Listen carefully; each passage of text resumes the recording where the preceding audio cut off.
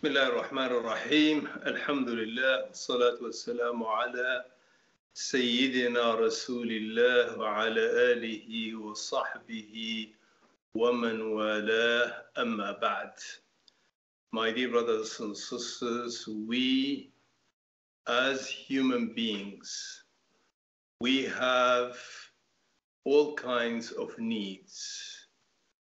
We need food, we need water, we need shelter, and we need we need sleep. All of these things are needs that we strive and we work hard to meet them so that so that we can survive and we can enjoy our life as long as we are on this planet. But our needs are not limited to just eating and drinking and sleeping. We have many other needs. And one of these needs is social interaction, a sense of belonging.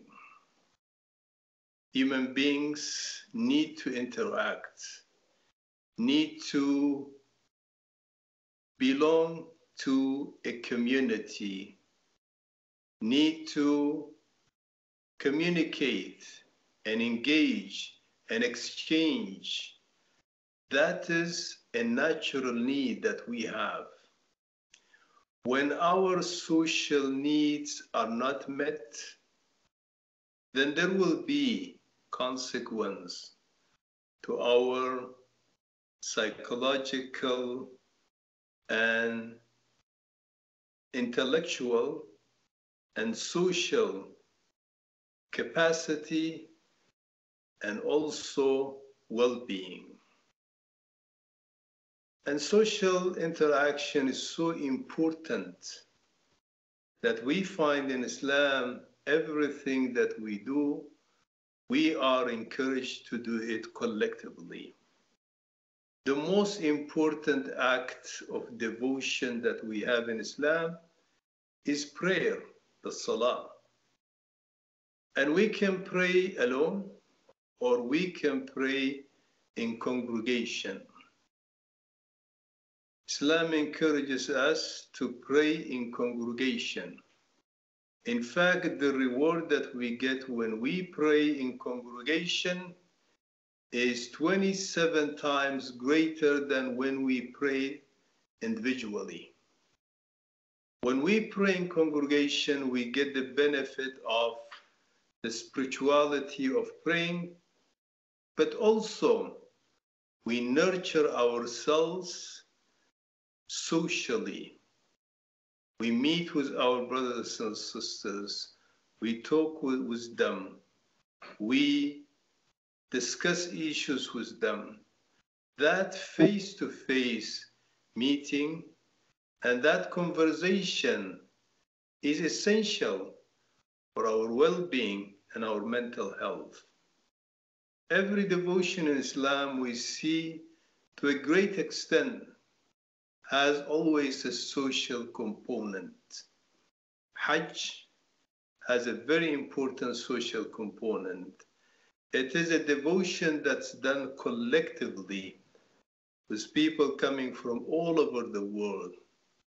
Similarly, the zakat, which is a, a, social obligation that we have towards others, is also an exercise in reaching out and sharing what we have.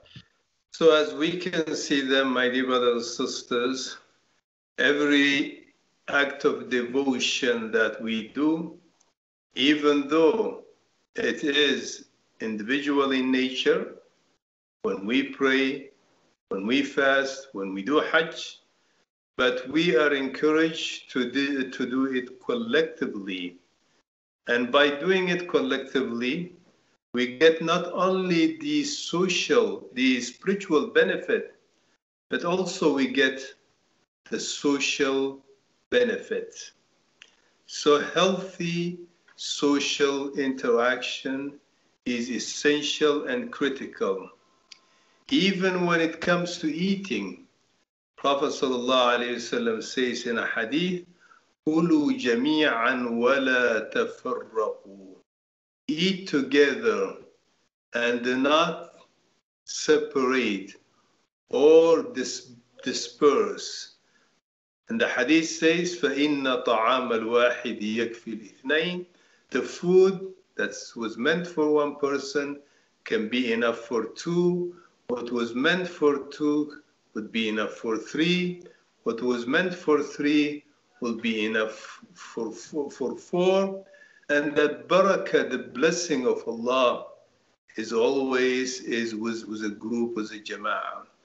So accordingly, Islam, by definition, is a faith that encourages us and that provides for us opportunities to have a healthy social life. Isolation, my dear brothers and sisters, has dire consequences. And accordingly, it's important that we do everything to keep ourselves socially nurtured and socially connected. There is something called the Roseto effect. And this is a name that came from a town in Pennsylvania in the United States, where a physician noticed that the people in this town had a lower heart problems. And he wanted to find the reason. And he did so much research and study and the type of food they eat and the type of, of, of exercise they engage and so on and so forth. But he couldn't find any explanation. What they were doing was not any different. But he found that they had a very healthy social life. They had a very well connected and strongly bonded community. And the conclusion of this researcher was that these people had a healthy, had, had, had a lower heart rate and were healthier because of the healthy social life they had. So accordingly, my dear brothers and sisters, following the guidance of Islam, it's important that we be constantly socially engaged by joining the congregational prayers, by volunteering our times, by sharing what we have.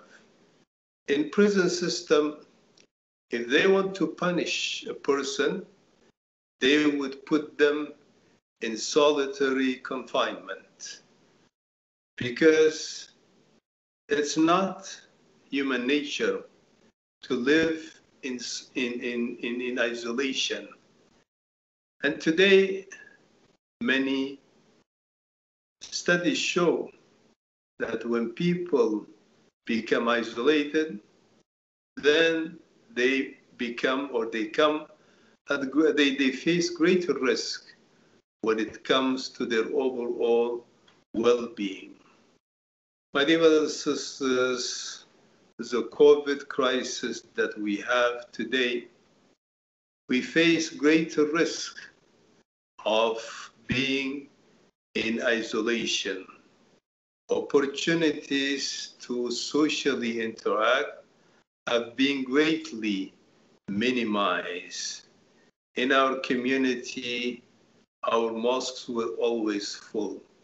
You can go for Fajr prayer, you can go for Isha prayer, you can go at any prayer. You have a chance to talk to people, to to, to see people, to, to, to hug them, to shake. These are very, very important for our well-being.